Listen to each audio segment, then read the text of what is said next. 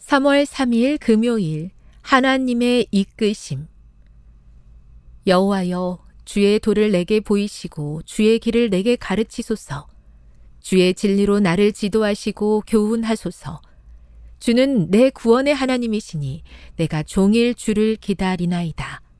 시편 25편 4에서 5절 하나님은 우리의 예상과 상상을 뛰어넘는 방식으로 우리를 이끄시기도 한다.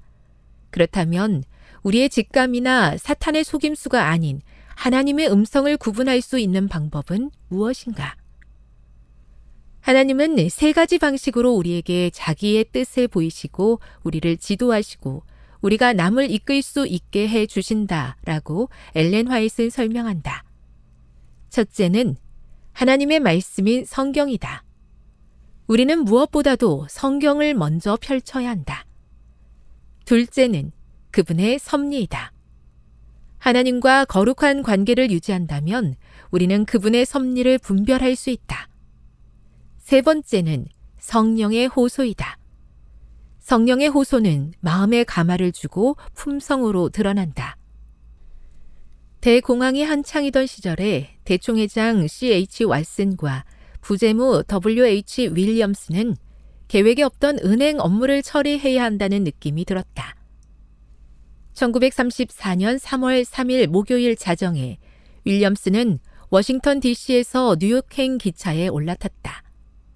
이튿날 아침인 3월 4일 금요일, 그는 아무에게도 말하지 않고 서로 다른 두 은행에 찾아가 재림교회 해외 선교지 거의 모든 곳에 3개월치 자금을 미리 송금한 뒤 같은 날 오후에 메릴랜드주 터코마 파크로 돌아왔다. 이튿날 안식일 아침이었다. 전국의 은행이 모두 문을 닫았다는 뉴스가 신문의 헤드라인을 장식했다. 날이 저문 뒤 대충의 재무 J.L. 쇼는 재정 위기를 해결하고자 긴급 회의를 소집했다. 윌리엄스는 금요일에 자신이 한 일을 이야기했고 모두 깊은 안도의 한숨을 내쉬었다. 하지만 대충의 직원의 급여 문제가 여전히 남아 있었다. 그러자 윌리엄스는 그동안 자금을 정기적으로 떼어서 은행 금고에 천 달러씩 봉투에 넣어 보관해 두고 있었다고 보고했다. 3개월치 급여를 충당할 수 있는 금액이었다. 성경에 영감을 불어 넣은 성령께서는 성경과 어긋나는 말씀을 하시지 않는다. 그러므로 어떤 일이든 의문이 생기면 성경을 가장 먼저 찾으라. 성경의 거룩한 가마에 힘입어 우리의 양심은 그분의 부르심에 더욱 예민하게 반응할 것이다.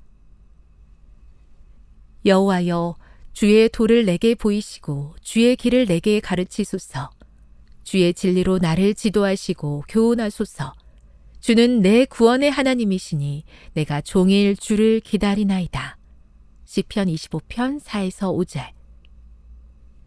세계 선교를 위한 기도 제목입니다.